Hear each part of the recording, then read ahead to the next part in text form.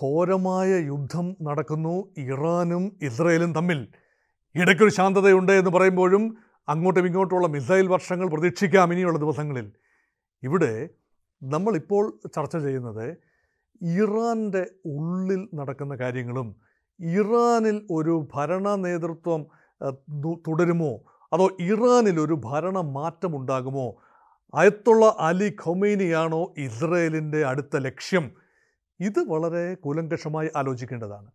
എന്താണ് ഇസ്രയേലിന്റെ ആത്യന്തികമായ ലക്ഷ്യം? അത് ഹമാസിനെയും ഹിസ്ബുള്ളയെയും ഹൂത്തികളെയും പരാജയപ്പെടുത്തുക എന്നത് മാത്രമാണോ? അല്ല എന്ന് തന്നെ കരുതേണ്ടി വരും. കാരണം ഇറാൻ ഇന്ന് അനുഭവിക്കുന്ന സുരക്ഷാ ഭീഷണിയുടെ സിംഹഭാഗവും വരുന്നത് അയൽപ്പക്കത്തുള്ള അറബ് രാജ്യങ്ങളിൽ നിന്നല്ല. സുന്നി അറബ് രാജ്യങ്ങളായ സൗദി അറേബ്യയോ അല്ലെങ്കിൽ തൊട്ടടുത്തുള്ള രാജ്യമായ ജോർദാനോ അല്ലെങ്കിൽ ലെബനനോ ഒന്നും തന്നെ രാജ്യങ്ങളെന്ന രൂപത്തിൽ ഇസ്രയേലിന് വലിയ പ്രതിസന്ധി സൃഷ്ടിക്കുന്നില്ല. അവിടുത്തെ ജനങ്ങളുടെ ഒരു ഭാഗം ആന്റി ഇസ്രായേൽ വികാരമുള്ളവരായിരിക്കാം ജൂതവിരോധികളായിരിക്കാം. പക്ഷേ സുരക്ഷാ ഭീഷണിയില്ല. അത് മാത്രമല്ല അറബ് ലോകത്തെ പ്രമുഖരായ പല രാജ്യങ്ങളുമായും ഇസ്രായേൽ ഇന്ന് സൗഹൃദത്തിലാണ്. ആയിരത്തി തൊള്ളായിരത്തി എൺപത്തി ആയിരത്തി തൊള്ളായിരത്തി എഴുപത്തി എട്ടിൽ തന്നെ ക്യാമ്പ് ഡേവിഡ് ഉടമ്പടിയിലൂടെ ഏറ്റവും ശക്തമായിരുന്ന അന്ന് ഏറ്റവും ശക്തമായിരുന്ന അറബ് രാജ്യമായ നോർത്ത് ആഫ്രിക്കയിലെ ഈജിപ്റ്റുമായി ഇസ്രയേൽ സന്ധി ചെയ്തു. അത് കഴിഞ്ഞതിന് ശേഷം ഓരോന്നോരോന്നായി അറബി രാജ്യങ്ങൾ ഇസ്രയേലുമായി സന്ധി സംഭാഷണം നടത്തുകയും ഇസ്രയേലിനെ അംഗീകരിക്കാനും ഇസ്രയേലുമായി വ്യാപാര ബന്ധത്തിൽ ഏർപ്പെടാനും തയ്യാറാകുന്ന കാഴ്ചയാണ് കണ്ടത്. അതുകൊണ്ട് ആയിരത്തി തൊള്ളായിരത്തി നാൽപ്പത്തി എട്ടിലെ ഇസ്രായേൽ തുടങ്ങിയ സമയത്ത് രൂപീകരിച്ച സമയത്തുണ്ടായ അറബി ഇസ്രായേലി യുദ്ധവും അത് ഏഴ് രാജ്യങ്ങൾ ഒരുമിച്ച് ഇസ്രായേലിനെ എതിർക്കുകയാണ്. ആ സാഹചര്യമല്ല. അതിനുശേഷം അൻപത്തിയാറിലും അറുപത്തിയേഴിലും എഴുപത്തി മൂന്നിലും അറബി ഇസ്രയേലി യുദ്ധങ്ങൾ ഉണ്ടായി. അതിനുശേഷം യുദ്ധങ്ങൾ മരീചികയായി മാറി പഴങ്കഥയായി മാറി. അൻപത് വർഷം യുദ്ധമില്ലാതിരുന്നു അറബി ലോകവും ഇസ്രയേലും തമ്മിൽ അൻപത് വർഷത്തോളം യോം കിപ്യൂർ വാർ ഒക്ടോബർ ഏഴാം തീയതിയായിരുന്നു. അതിന്റെ വാർഷിക ദിനത്തിലാണ് ഹമാദ് ഇസ്രായേലിനെ ആക്രമിച്ചത് കഴിഞ്ഞ വർഷം ഒക്ടോബർ മാസം ഏഴാം തീയതി. അതുകൊണ്ട് അറബി ലോകം ഇസ്രായേലിൽ നിന്നൊരു വിഷയമല്ല. അവരുമായി ശത്രുതയില്ല. അത് മാത്രമല്ല അറബി ലോകത്തെ രാജ്യങ്ങളുമായി അബ്രഹാമിക കരാറുകൾ ഒന്നൊന്നായി ഒപ്പിട്ടുകൊണ്ടിരിക്കുകയാണ് ഇസ്രായേൽ. അത് യു എ ഇയുമായിട്ടും അതുപോലെ ബഹ്റൈനുമായും സുഡാനുമായും എല്ലാം അബ്രഹാമിന്റെ ആദിപിതാവായ അബ്രഹാമിന്റെ പേരിൽ ജൂത രാജ്യവും അറബികളുമായി അറബ് രാജ്യങ്ങളുമായി വ്യാപാര വ്യവസായ സഹകരണ കരാറുകൾ ഒപ്പിടുന്ന തിരക്കിലാണ് ഇസ്രയേൽ. അതുകൊണ്ട് അറബികളുടെ ഭാഗത്തു നിന്ന് സുരക്ഷാ ഭീഷണിയില്ല. പക്ഷേ ഇറാനിൽ നിന്നുള്ള സുരക്ഷാ ഭീഷണിയുണ്ട്. അത് നേരിടണമെങ്കിൽ ആത്യന്തികമായി ഇറാനെ തന്നെ ലക്ഷ്യം വയ്ക്കണം ഇറാനെ ഇസ്രയേലിന് പൂർണമായി പരാജയപ്പെടുത്താനോ പൂർണമായി കൈയടക്കാനോ ഇറാനിലേക്ക് കരയുദ്ധം നയിക്കാനോ സാധ്യമല്ല. കാരണം ഭൂമിശാസ്ത്രപരമായി ഇറാനും ഇസ്രയേലും വളരെ അകല സ്ഥിതി ചെയ്യുന്ന രാജ്യങ്ങളാണ്. അവർ തമ്മിലുള്ള മിനിമം ഡിസ്റ്റൻസ് ആയിരത്തി അറുന്നൂറ് കിലോമീറ്ററാണ്. മാക്സിമം ഇറാന്റെ കിഴക്ക് ഭാഗത്ത് വരെ പോയാൽ നാലായിരത്തോളം കിലോമീറ്റർ മാറി കിടക്കുകയാണ്. ഇസ്രായേൽ തലസ്ഥാനവും ഇറാന്റെ കിഴക്കൻ ഭാഗവും. അതുകൊണ്ട് ഇറാനെയൊക്കെ പൂർണമായി പരാജയപ്പെടുത്തി കൈയേറി പിടിച്ചു വെക്കാനൊന്നും ഇസ്രയേലിന് സാധിക്കില്ല. പക്ഷേ ഇറാന്റെ ഭാഗത്ത് നിന്നുള്ള തീരുമാനം എന്താണ്?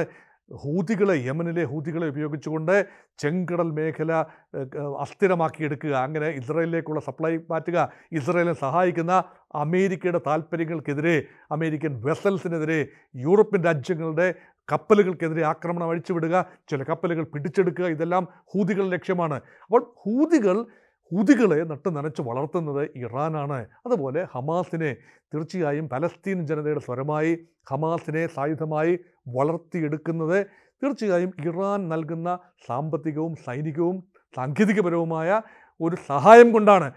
ഇപ്പോൾ കാണുന്നു ലെബനനിലെ ഹിസ്ബുള്ള. ആ ഹിസ്ബുള്ളയുടെ പിന്നിൽ ഇറാൻ തന്നെയാണ്. ഇറാൻ അനുകൂല ഷിയ മിലിഷ്യ തന്നെയാണല്ലോ ഹിസ്ബുള്ള.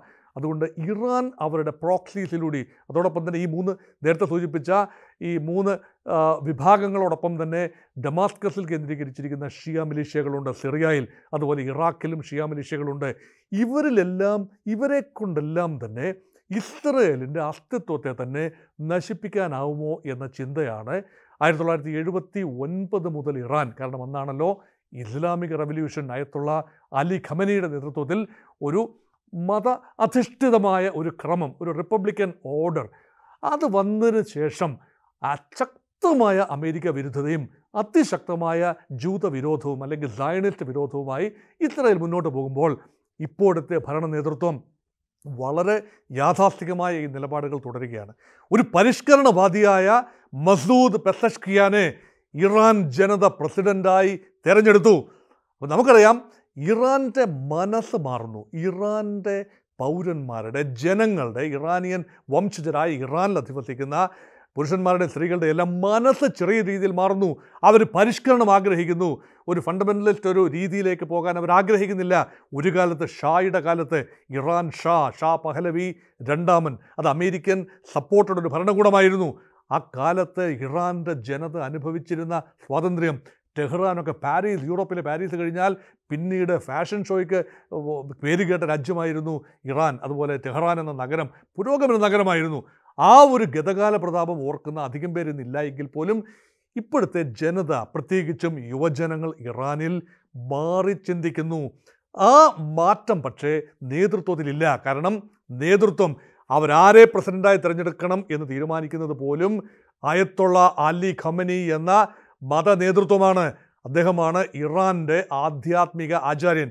നേരത്തെ ഖൊമൈനി ഉണ്ടായിരുന്ന. അയത്തുള്ള ഖൊമൈനി. ഇപ്പോൾ അയത്തുള്ള അലി ഖമനയി. അപ്പോൾ അലി ഖമനയി ആണ് തീരുമാനിക്കുന്നത് ആരൊക്കെയാണ് പ്രസിഡൻഷ്യൽ തിരഞ്ഞെടുപ്പിൽ മത്സരിക്കേണ്ടത്. ഒരു യാഥാർത്ഥിക വിഭാഗത്തിലെ സ്ഥാനാർത്ഥി ഉണ്ടാകും. പരിഷ്കരണവാദി വിഭാഗത്തിലെ സ്ഥാനാർത്ഥി ഉണ്ടാകും. അങ്ങനെ പരിഷ്കരണവാദിയായ മസൂദ് പെസഷ്കിയാൻ അനുകൂലമായി ജനം വിധിയെഴുതി കുറച്ചുകൂടി യാഥാർത്ഥികനായ ഇബ്രാഹിം റൈസി അപകടത്തിൽ കൊല്ലപ്പെട്ടു. അല്ലെങ്കിൽ കൊല്ലപ്പെട്ടു എന്നതാണോ? ഇസ്രയേലിന്റെ തന്നെ ചാര പ്രവർത്തനം കാരണം പേജർ പൊട്ടിത്തെറിച്ച് മരിച്ചതാണോ എന്നതിനെക്കുറിച്ച് ഇപ്പോൾ രണ്ട് അഭിപ്രായമുണ്ട്. വിമാനാപകടത്തിൽ ഹെലികോപ്റ്റർ അപകടത്തിൽ മരിച്ചു എന്ന് കരുതാനാണ് പലരും താല്പര്യപ്പെടുന്നത്. പക്ഷേ ഇറാനിൽ തന്നെ ഇപ്പോൾ ഒരു ചിന്തയുണ്ട്. ഇറാന്റെ നേതൃത്വത്തെ തന്നെ ഇസ്രായേൽ ടാർഗറ്റ് ചെയ്തു. പ്രസിഡന്റിനെ തന്നെ വധിച്ചു എന്നൊരു ചിന്തയുണ്ട്. അതുമാത്രമല്ല ഇറാന്റെ മറ്റ് പല സൈനിക നേതാക്കളെയും ഖാസിം സുലൈമാനി പോലെയുള്ള റിപ്പബ്ലിക്കൻ ഗാർഡ്സിന്റെ റവല്യൂഷണറി ഗാർഡിന്റെ പിന്നെ ഉപമേധാവിയെയും അതുപോലെ ഇറാന്റെ ന്യൂക്ലിയർ ആണവ ശാസ്ത്രജ്ഞന്മാരെയും എല്ലാം പല ഘട്ടങ്ങളിലായി ഇസ്രയേൽ വധിച്ചു. അതുകൊണ്ട് ഇറാന്റെ ഒരു കേപ്പബിലിറ്റി കുറച്ചുകൊണ്ട് വരിക അതോടൊപ്പം തന്നെ ആത്യന്തികമായി ഇറാനെ ടാർഗറ്റ് ചെയ്യുന്ന ഇസ്രയേലിന്റെ ഒരു നയം. ആ നയത്തിന്റെ അവസാന കണ്ണി ഒരുപക്ഷെ പെസഷ്കിയാനായിരിക്കില്ല അത് അയത്തുള്ള അലി ഖമനി തന്നെ ആവാൻ സാധ്യതയുള്ളതുകൊണ്ടാണ്. അല്ലെങ്കിൽ അങ്ങനെ ഒരു ഭയം ഇറാനുള്ളിൽ ആ ഉന്നത നേതൃത്വത്തിന് ഉള്ളതുകൊണ്ടാണ് അലി ഖമനയി ഒളിവിൽ പോകേണ്ടി വന്നത് അല്ലെങ്കിൽ സുരക്ഷിതമായ ഇടത്തേക്ക് താമസം മാറ്റേണ്ടി വന്നത്. ഇപ്പോൾ നമുക്കറിയാം ഇറാനെ സംബന്ധിക്കുന്ന തന്ത്രപരമായ രാഷ്ട്രീയ അറിവുകൾ ഇസ്രായേലിനുണ്ട്. ചാര നെറ്റ്വർക്ക് അവിടെ വളരെ സജീവമാണ്. ഇറാൻ പൗരന്മാരെ ഉപയോഗിച്ചുകൊണ്ട് ഇറാനിനുള്ളിൽ തന്നെയുള്ള ഇസ്രയേലി ഇൻഫോർമേഴ്സിനെ ഉപയോഗിച്ചുകൊണ്ട് ഇറാന്റെ എല്ലാ നീക്കങ്ങളും ചോർത്തിയെടുക്കുന്നു. അത് മാത്രമല്ല പേജർ ആക്രമണം വന്നപ്പോൾ ഒരു കാര്യം നമുക്ക് ഉറപ്പായി. യഥാർത്ഥത്തിൽ ഇസ്രയേൽ തന്നെയാണ് ആ പേജർ നിർമ്മാണ കമ്പനിക്ക് പിന്നിൽ പ്രവർത്തിച്ചത്. അതുകൊണ്ട് പേജർ വാങ്ങാൻ ഹിസ്ബുള്ളയെ കൊണ്ടെടുപ്പിച്ച തീരുമാനം. അതുമാത്രമല്ല പേജർ ഉപയോഗിക്കാനെടുത്ത തീരുമാനം. ആ പേജറിന്റെ സകല വിവരങ്ങൾ ഇതെല്ലാം തന്നെ ഇസ്രയേൽ അറിഞ്ഞുകൊണ്ട് നടത്തിയ ഒരു വളരെ വലിയ നാടകമാണ് എന്ന് തെളിഞ്ഞ സ്ഥിതിക്ക് ഇറാന്റെ കമ്മ്യൂണിക്കേഷൻ നെറ്റ്വർക്കിൽ ഇസ്രയേൽ ആഴത്തിൽ കടന്നു കയറിയിരിക്കാനുള്ള എല്ലാ സാധ്യതയുമുണ്ട്. അതുകൊണ്ടാണ് തീർച്ചയായും ഇറാനിൽ ജനങ്ങളുടെ ഭാഗത്ത് ഇത് കമ്മ്യൂണിക്കേഷൻ നെറ്റ്വർക്കാണ് അത് സൈനികമാണ്. രാഷ്ട്രീയമായി ജനങ്ങളുടെ ഇടയിൽ വളരെ വലിയ തോതിൽ ഭരണകൂട വിരുദ്ധ വികാരം പ്ലാന്റ് ചെയ്യാൻ ഇസ്രയേൽ ശ്രമിച്ചിരിക്കാൻ സാധ്യതയുണ്ട്. അതുകൊണ്ട് ഏത് നിമിഷവും ഭരണകൂടത്തിനെതിരെ ഒരു വലിയ നീക്കം സാധിക്കണമെങ്കിൽ ഇറാന്റെ സൈനിക ശക്തി ക്ഷയിക്കണം ഭരണകൂടം ക്ഷയിക്കനാകണം യുദ്ധത്തിൽ തോൽവികൾ സംഭവിക്കണം. അങ്ങനെ സംഭവിച്ചാൽ ഇറാനിൽ ഒരു ഭരണമാറ്റം ഇസ്രയേൽ ആഗ്രഹിക്കുന്നു. ഇത് ഇസ്രായേലിന്റെ മാത്രം ആഗ്രഹമല്ല യുണൈറ്റഡ് സ്റ്റേറ്റ്സ് ഓഫ് അമേരിക്കയുടെ കൂടെ ആഗ്രഹമാണ്. കാരണം മധ്യപൗരസ്യ പ്രദേശത്ത് അമേരിക്കയെ ഏറ്റവും ശക്തമായി വാക്കുകൾ കൊണ്ടെങ്കിലും എതിരിട്ട് നിൽക്കുന്ന ശക്തി ഇറാനാണ്. അതുമാത്രമല്ല എണ്ണ വ്യാപാരത്തിന്റെ സിംഹഭാഗവും കടന്നു പോകുന്ന കടലിടുക്കുകൾ പേർഷ്യൻ ഗൾഫ് അത് കൺട്രോൾ ചെയ്യുന്നത് ഇറാന്റെ നാവികസേനയാണ് അതുപോലെ ഹൂതികളിലൂടെ എണ്ണക്കപ്പലുകൾ കടന്നു പോകുന്ന ബാബൽ മന്ദേബ് റെഡ് സീയിലൂടെ കടന്നു പോകുന്ന എണ്ണക്കപ്പലുകളെ നിയന്ത്രിക്കുന്നതും ഒരുപക്ഷെ ഹൂതിയും അവരിലൂടെ ഇറാനുമാണ്. ഈ അവസ്ഥാവിശേഷം ഇസ്രയേലിന് മാത്രമല്ല അമേരിക്കയ്ക്കും വളരെ വലിയ അലോസരമാണ് സൃഷ്ടിക്കുന്നത്. അതുകൊണ്ട് Israeli American interest is converging on finishing Iran. ഇറാനെ തീർക്കുന്നതിൽ തീർക്കുക എന്ന് പറയുന്നത് യുദ്ധത്തിൽ പരാജയപ്പെടുത്തുക എന്നതല്ല യുദ്ധത്തിൽ ഒരുപക്ഷെ ആണവ ആയു ആണവ കേന്ദ്രങ്ങൾക്കെതിരെ ഇറാനിൽ ആക്രമണം നടന്നേക്കാം ഇസ്രയേലിന്റെ ഭാഗത്തു നിന്ന്. അത് എല്ലാ പിന്തുണയും അമേരിക്ക കൊടുക്കുമെന്നത് ഉറപ്പാണ്. അതോടൊപ്പം തന്നെ ഭരണമാറ്റം എന്ന ആത്യന്തിക ലക്ഷ്യത്തിലേക്ക് എത്തി നിൽക്കാം. അയത്തുള്ള ഹുമേനിക്ക് നേരെ വധശ്രമം ഉണ്ടായാലും ഇല്ലെങ്കിലും അദ്ദേഹത്തെ വധിച്ചാലും ഇല്ലെങ്കിലും ആ ഭരണകൂടത്തെ ഇപ്പോഴുള്ള ക്രമം ആയിരത്തി തൊള്ളായിരത്തി എഴുപത്തി ഒൻപത് വരെയുള്ള ഒരു ക്രമത്തിലേക്ക് ഇറാനെ തിരിച്ചു കൊണ്ടുപോകാനുള്ള എല്ലാ സാഹചര്യവും ഒരുങ്ങി വന്നു എന്ന് ഇപ്പോൾ ഇറാ ഇസ്രയേൽ വിശ്വസിക്കുന്നു. അതിനുള്ള നീക്കങ്ങളിലായിരിക്കും ഇസ്രയേൽ. അല്ലാതെ വെറുതെ ഇറാനെതിരെ കുറേ ആക്രമണം നടത്തി ഹൂതികളെയും അതുപോലെ ഹിസ്ബുള്ളയെയും ഹമാസിനെയും എല്ലാം പരാജയപ്പെടുത്തി ഇറാന്റെ ശക്തി ക്ഷയിപ്പിച്ചാൽ വീണ്ടും ഇതെല്ലാം ആശയങ്ങളല്ലേ?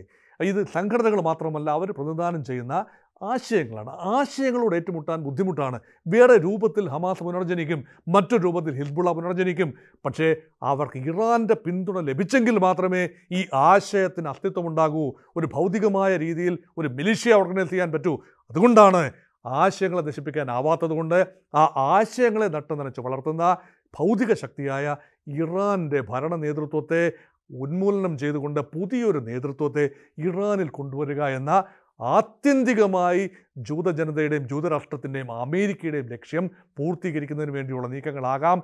ഒരുപക്ഷേ ഇപ്പോൾ ഇസ്രയേലിന്റെ മനസ്സിൽ.